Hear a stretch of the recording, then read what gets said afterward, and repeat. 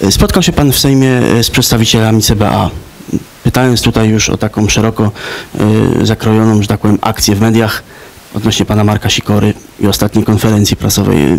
Co ci przedstawiciele panu powiedzieli? Jakie pytania pan zadał?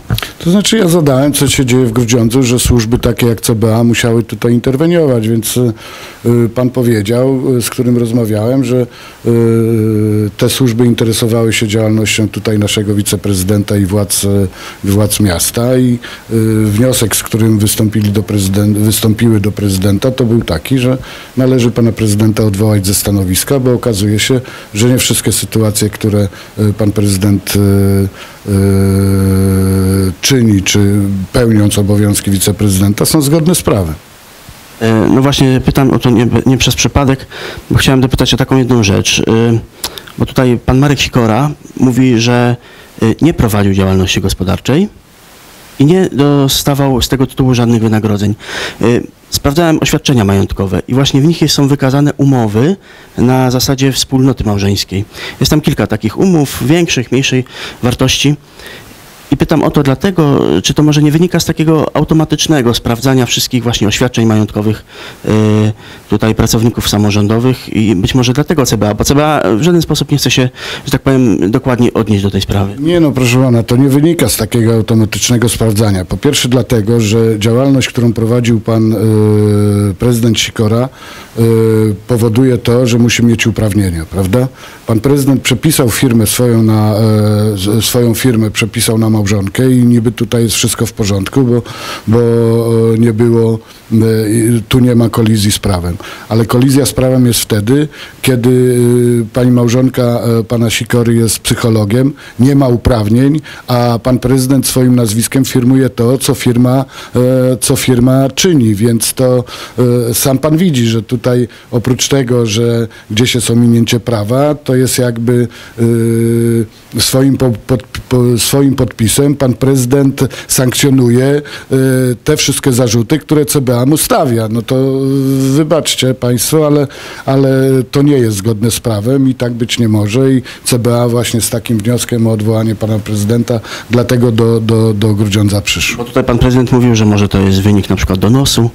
Ale pewnie, ale Mizera nie kryje, że on to doniósł do CBA, prawda? To, to przecież to, to nie jest, e, przepraszam, że tak powiedziałem, e, pan były radny e, Mizera nie krył, że to on doniósł do CBA i tutaj e, nikt jakby nie robił z tego tajemnicy, że, że przecież o takich sytuacjach żeśmy wiedzieli, wiedzieliśmy o działce, mówiłem też o tym, że dzisiaj nie ma przestępstwa, bo nie ma elektrowni, ale wtedy, kiedy na tym miejscu elektrownia powstanie, no to przestępstwo będzie. Yy, Nie można dzisiaj yy, karać kogoś za to, czego nie uczynił. No, działkę może sobie kupić każdy, ale, ale myśmy wiedzieli o tym, że ta działka została kupiona tylko dlatego, że tam miała powstać elektrownia. Jakimś dziwnym sposobem ta elektrownia dzisiaj nie powstaje.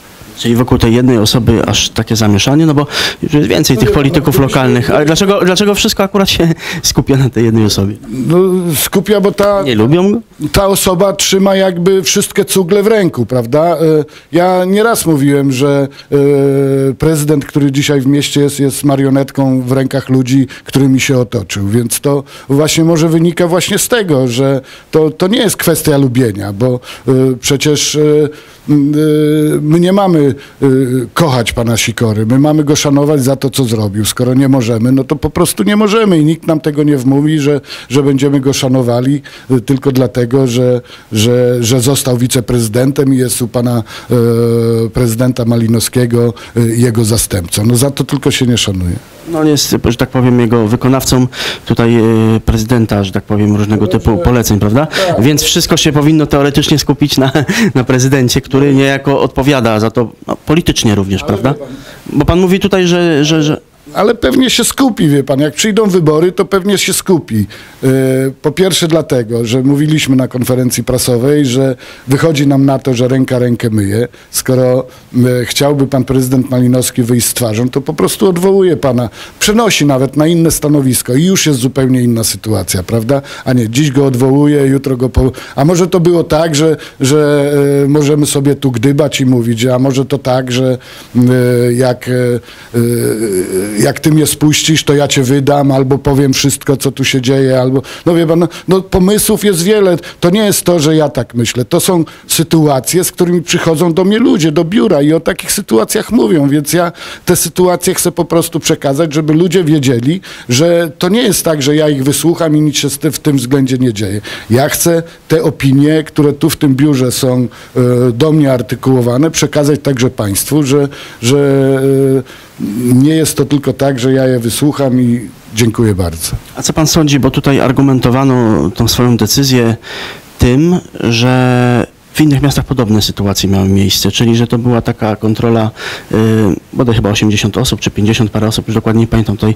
y, konkretnych liczb, że takie sytuacje miały miejsce, że właśnie powoływano, odwoływano, przytoczono tutaj całe szeregi y, różnych y, skanów, cytatów z lokalnej prasy, z prasy krajowej, czyli niejako posłużono się, że tak powiem, nie tylko analizami prawnymi, ale również y, no, oparto się na mediach.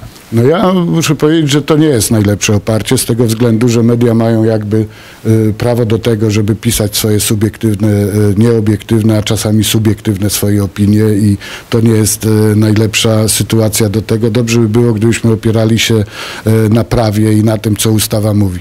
Ja mówiłem też na konferencji prasowej o dokumentach, prawda, które wystosowano z komisji rewizyjnej do pana prezydenta, protokół dotyczący budżetu.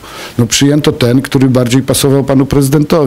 Jeżeli y, ktoś y, chce rządzić miastem z takimi standardami, y, standardami, to nie może wymagać od mieszkańców miasta, żeby wszyscy go hołubili, bo każdy widzi, że to jest, że to jest jakiś, y, no, no, żeby nie powiedzieć przekręt, no, że, że to jest coś, co, co Wie pan, każdego w życiu uczy się, żeby był uczciwy. Każdego w życiu y, uczy się jakichś ideałów. Każdego w życiu uczy się jakichś zasad. Jeżeli to, co widzimy, że zgodnie z, tym, z tą nauką, którą wpajali nam ojcowie, nasi rodzice, y, to nie idzie, to zaczynamy się zastanawiać, co jest grane i, i co się dzieje. I my też się zastanawiamy. My dziś upominamy się o grudziąc y, praworządny, o grudziąc uczciwy, o władze, które będą nas szanowały. To nie jest to, że my y, chcemy te, te władze tylko sobie y, zmienić. I, i, nie, te władze robią wszystko, żebyśmy się o ten grudziąc upomnieli, bo y, mieszkańcy tego chcą. Mie, mieszkańcy chcą się aktywizować, mieszkańcy chcą być czynni, a dzisiaj z ich rad, z ich pomysłów nikt nie korzysta, prawda? Jest taki pomysł, żebyśmy y, w przyszłych, y, w przyszłej, y, w przyszłym, w przyszłych latach, kiedy, kiedy udałoby nam się takie wybory wygrać, kiedy państwo by na nas spojrzeli łaskawym oczkiem, chcemy zmniejszyć inicjatywę y, społeczną, prawda? Żeby nie trzeba było 5 tysięcy głosów zbierać, a żeby tysiąc głosów wystarczyło, żebyśmy mogli y, korzystać z takich inicjatyw, żeby Rada Miasta, bo ona po to jest, żeby takie propozycje rozpatrywała. Y, I myślę, że to jest jakby taki dobry sposób do tego, żeby w ten sposób aktywizować społeczeństwo, to co się dzieje na osiedlach, to co, co, co, co państwo chcieliby wprowadzać w życie, chociażby sprawa tego statku rzecznego. mm, y, No właśnie, tutaj jest ostatnia informacja, że prowadzone są rozmowy w tej sprawie, więc być może nawet jeszcze tego lata taki statek w Grudziądzu, co prawda nie ma tutaj jednoznacznych informacji, zobaczymy. Ale no, niech pan zobaczy, no Wisła jest taka wysoka, kiedyś mówiono, że statek, przynajmniej tak pan prezydent mówił, że statek nie może pływać, bo Wisła jest e, taka płytka, że, e, że nie będzie mógł pływać. Dzisiaj Wisła jest wysoka, nie ma żadnej łachy, nie ma żadnej wyspy, nie ma żadnych, żadnych cudów i statek i tak nie pływa, i tak nie pływa. A dlaczego nie pływa? No przecież widziałem już wtedy, kiedy było święto Żarna, widziałem, że e, ludzie wpłacali pieniądze na pierwszy rejs, było duże zainteresowanie.